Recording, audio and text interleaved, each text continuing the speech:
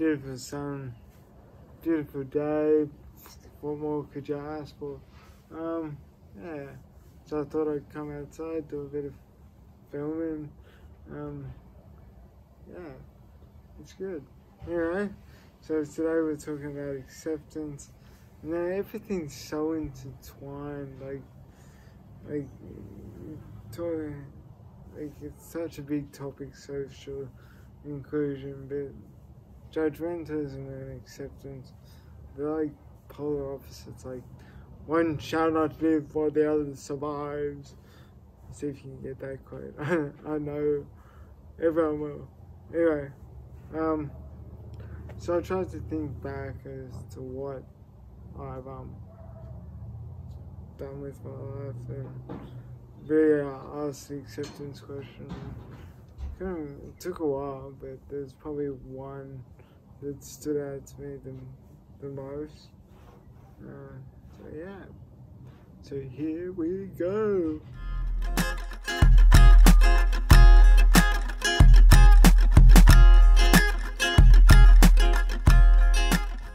I remember when I went back to high school full time in year. Um, I I would sit like during lunchtime and recess. I would sit up in the aids room, the integration room, um, and not really go out and physically pursue my mates, like harass them. No, no, just like say, say, oh, so, like I, I had nothing wrong with the aids room. Absolutely loved it, but it was probably different my age group, I suppose. So looking back, I wasn't, well, kind of partly mentioned it, um, I wasn't really accepting to actively go out and seek my mates, um, which is no one's fault but mine. Um, but then again, I had limitations, so it's understandable. But like I said in the last video, all, all I had to do was ask. Learned from it. So it's life course, I suppose.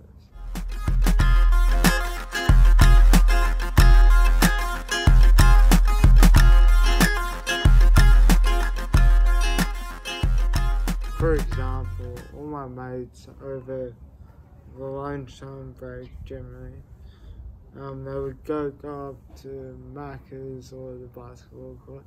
Macca's, um, gotta love it.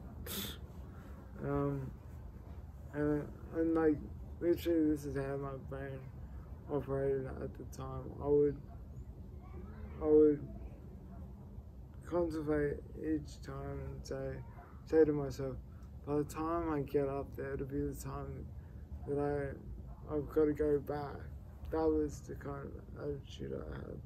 Instead of my willingness and the want and need to talk to my friends and say, screw it, I don't care if I actually, like, I only get 20 minutes as opposed to the 50 minutes I'll get up, get up in the 18. That, that was my mind state that period of time. Um, if you if you want to put labels on it, I'd say accessibility was the biggest barrier, and because of the accessibility, my limitation, um, it, it brought me down to attitude and like and not having that willingness. So at the end of the day, it comes around to mentality. And like now, I'm fine.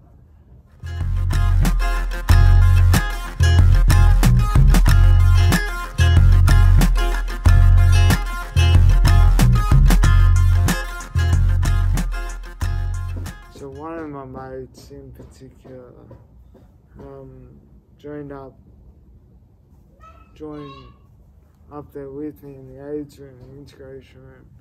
after meeting me with me um, or getting to know me through class. Um, and this was, of course, like towards the end of the year, eight or nine. I'm not really 100% sure. Anyway, a year doesn't really matter, does it? um, where him and then they um, came up and started chatting with me, started doing the quiz, started, started doing the footy tipping uh, on a Wednesday, I think it was. Um, and then from that, they kind of built my confidence, built my one, the one to go out and actually choose the man and so really, they gave me a show, pretty much. So yeah.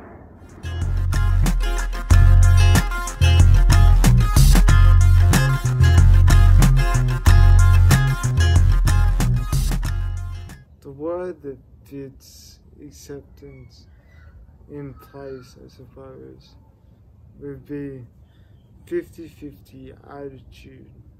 Because, like, at the end of the day, I had to have the ability to accept my limitations, accept I'd only get 20 minutes of good quality, top notch convo, um, as rather as opposed to 15 minutes and really not see myself having an access, accessibility barrier or problem. But on the other hand, um, my mates had to be there in the first place by coming up, seeing me with me, chilling with me, and um, and giving me the prompt, I suppose. I find this this quote sums up my mates my mates fifty pretty damn well. Um, read it to. So disability acceptance as a series of changes in values which an individual extends his or her range of values places places less importance on critical thinking about physical abilities and places in, increased importance on one's remaining abilities, which they did. Um, love them for it.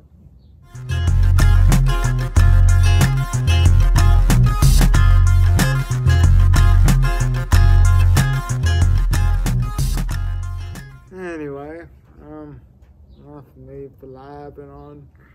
Um, yeah. That, that was really from my perspective. I don't, I don't know. Other people have other views on acceptance, but that's my view. Um, and so, yeah. I might mention um, some really good films that are intertwined with the A and the J. Um, is Rising Phoenix. Um, it's about Paralympians. It's on Netflix. Um, it's really good. Um, and Freeman. Freeman, which was on a few nights ago. Um, yeah. The next stage will be um, talking about what's to come or forming connections or something. I don't really know. I've got uni coming up, so I might be a bit off the air. Um, yeah, I'll let you know. Right, catch you later. Adios.